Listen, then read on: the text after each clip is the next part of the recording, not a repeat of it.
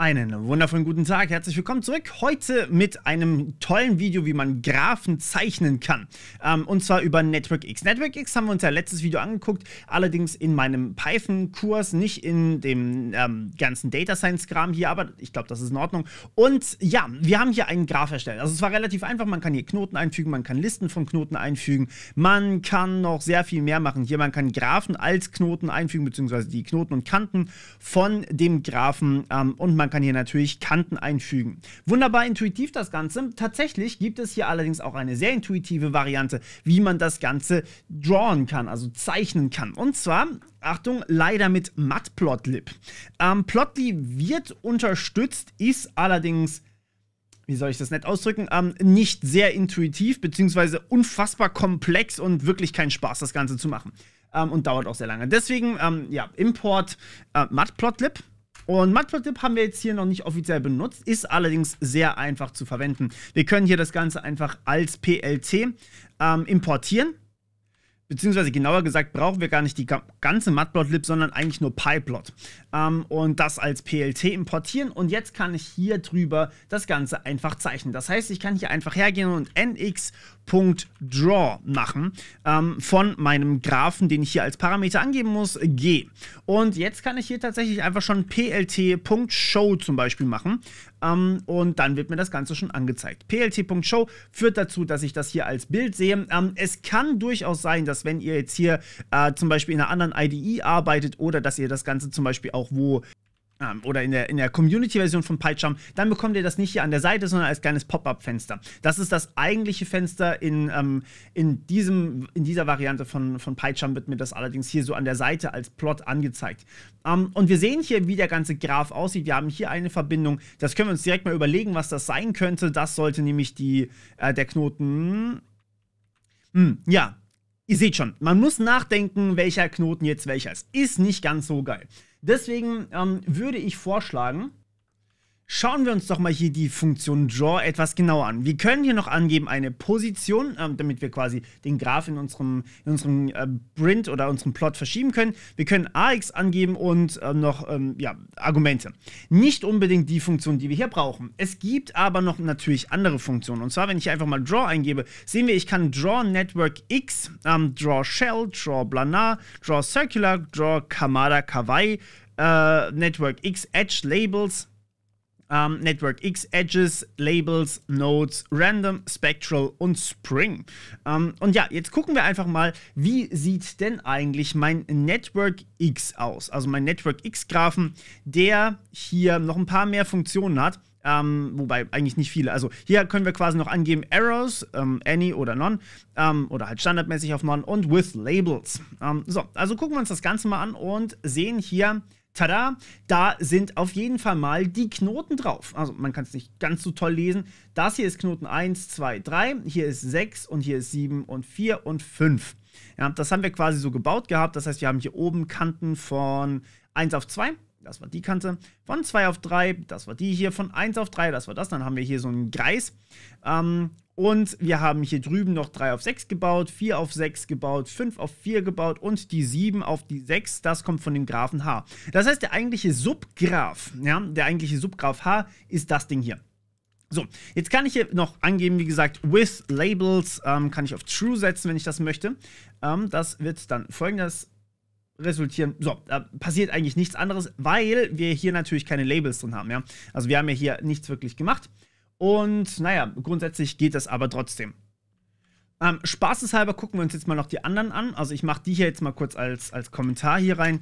Und spaßeshalber schauen wir uns doch mal an, was die anderen alle darstellen wollen. Also Draw Shell von G würde zu diesem hier resultieren.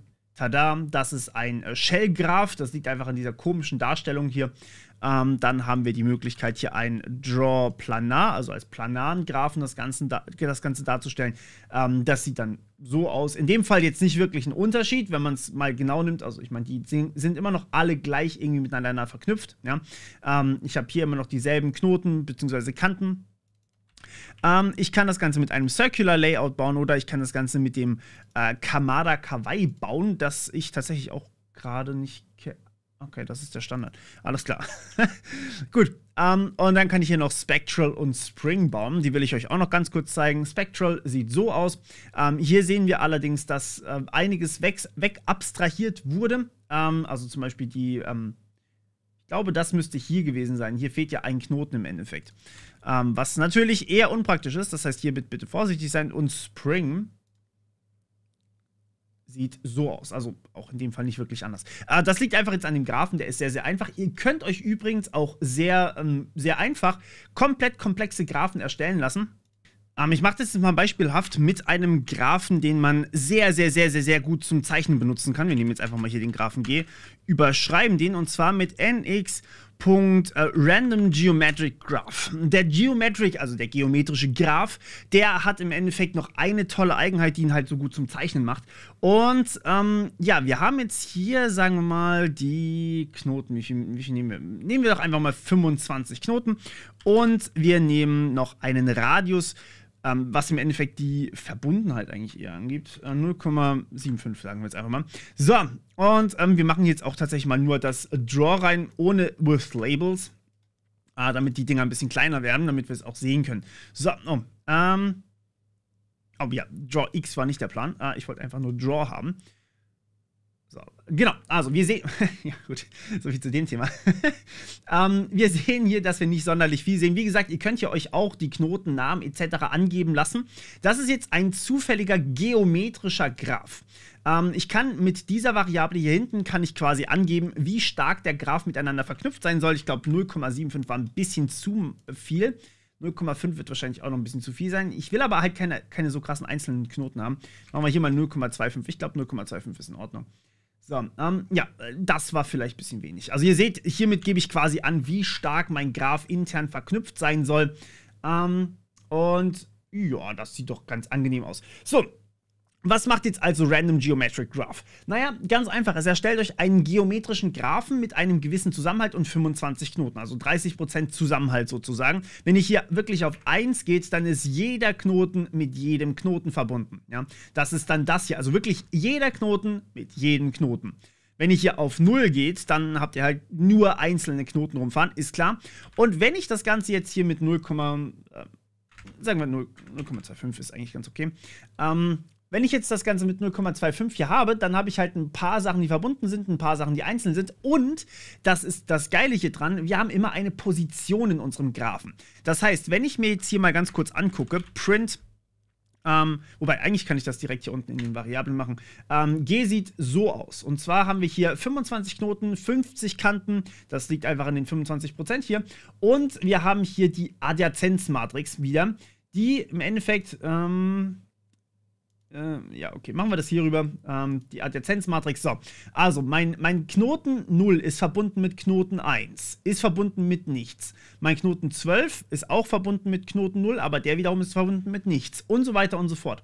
Und das Tolle hierbei, ähm, das sehe ich jetzt hier tatsächlich gerade gar nicht, wenn ich, wo ist denn das? Ähm, Notes, Notes, Notes, Notes, Notes. Ähm, da ist es. Ähm, Notes hat Protected Values hier. So, also wir sehen das hier, jeder meiner Knoten hat den Protected Value Position. Ähm, das sehen wir dann auch, wenn wir das Ganze hier mal uns ausgeben, also zum Beispiel über Print. G von zum Beispiel meinen Knoten 1, ja. Ähm, und von dem wiederum bekomme ich jetzt quasi auch die Position mitgeliefert. Also sehen wir hier unten, nein, sehen wir nicht, ähm, weil ich nicht Punkt Notes gemacht habe. G.Notes von 1 so, da kriegen wir dann direkt eine Position mit. Das heißt, mein Knoten, also mein Knoten 1, hat quasi eine Position an 0,16 und 0,28. Ähm, 0,16 und 0,28, das könnte hier irgendwo sein. Können wir uns tatsächlich mal mit Draw ähm, Network X Graph, können wir uns anzeigen lassen, welcher Knoten welcher ist. Und dann sehen wir hier, okay, Knoten 1 aktuell, also wie gesagt, der wird ja jedes Mal neu zufällig erstellt, ist klar. Dementsprechend habe ich hier auch jedes Mal andere Werte. Also hier, Knoten 1 ist hier komplett abgeschlagen auf ganz, ganz unten. Ähm, bei Wert 0,9, also quasi von, ähm, von links oder rechts, äh, von, von rechts gemessen. Ähm, 0,9 rüber, beziehungsweise hier eben 0,9 mal an der Seite hier dran und der ähm, von oben 0,8. Da, wird halt auch rangezoomt so ein bisschen. Und ähm, wir sehen hier, der ist da. So, jetzt kann ich das für jeden Knoten hier ausgeben und habe dann natürlich immer eine Position sozusagen auch in meinem Plot drin, was sehr, sehr nützlich ist. Okay, dementsprechend, die eignen sich am besten zum Malen, aber es geht natürlich auch mit allen anderen Graphen hier. Ich würde es euch allerdings mit Matplotlib empfehlen und nicht unbedingt mit, Py, äh, mit, mit hier Plotly. Ähm, weil, ja, mit Plotly, wie gesagt, ist ein bisschen komplizierter. Können wir aber auch mal machen, falls ihr das braucht. Wenn ihr es euch, euch wünscht, dann schreibt ihr mir das ganz gerne mal. Wir hören uns beim nächsten Mal wieder. Bis dann. Ciao.